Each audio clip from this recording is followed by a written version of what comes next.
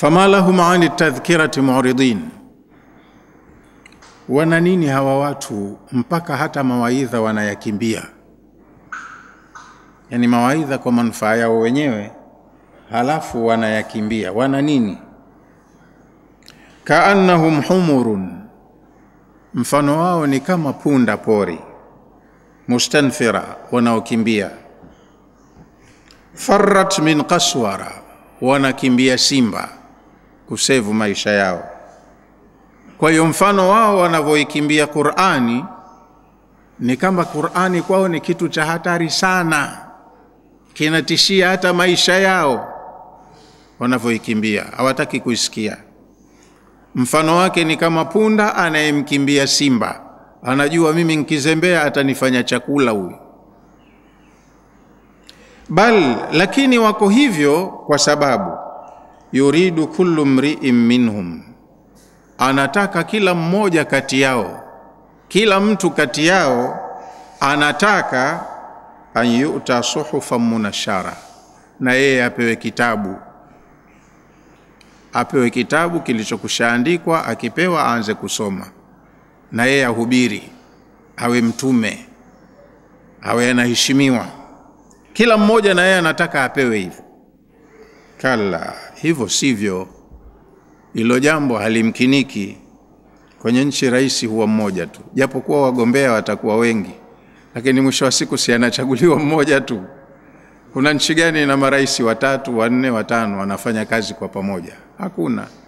Labda maka, rais na makamu wa rais. Huyu makamu anamsaidia mwenye dhamana yake, lakini wote wanataka wapewe heshima sawa sawa. Haiwezekani. Bal la yakhafuna al-akhirah, wanakuwa na maamuzi magumu kama hayo kwa sababu hawa watu hawaogopi akhira. Wanafanya hivyo, wamefikia hatua hiyo kwa sababu la yakhafuna al-akhirah, hawaogopi akhira, na kwa sababu hawaamini kwamba kuna maisha baada ya haya. Kalla, hivyo sivyo wanavyofanya. Innahu tadhkiratun, hii Qur'ani ni mawaidha tu, imeletwa wasomewe watu, wakumbushwe, waamrishwe, wakataze, wakatazwe. Watakapowaidhika watafanya vizuri itakiwavyo, hiyo ni sababu ya kufanikiwa kwao.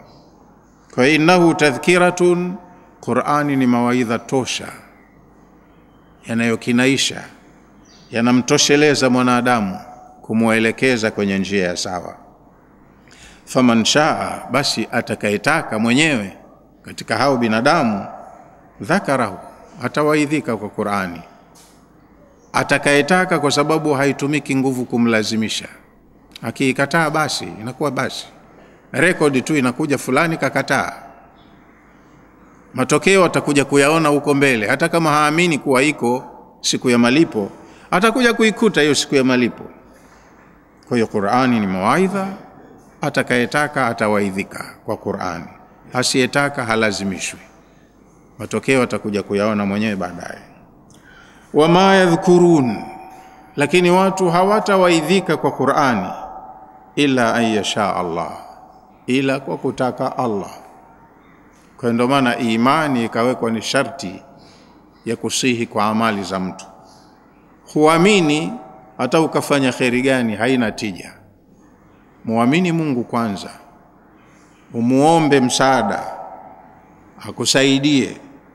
Nyuma ya imani ndo mambo mengine yote yatakuwa yamekubalika. Huna imani, hata ukifanya kheri yoyote haikubaliwi. Kwa hiyo hawa bado wameikataa imani, hawamwamini Allah, hawamwamini mtume, wanaipinga Qur'ani, halafu bado wanataka tu na wao wapewe kitukufu kama alichopewa huyu waliyemchukia.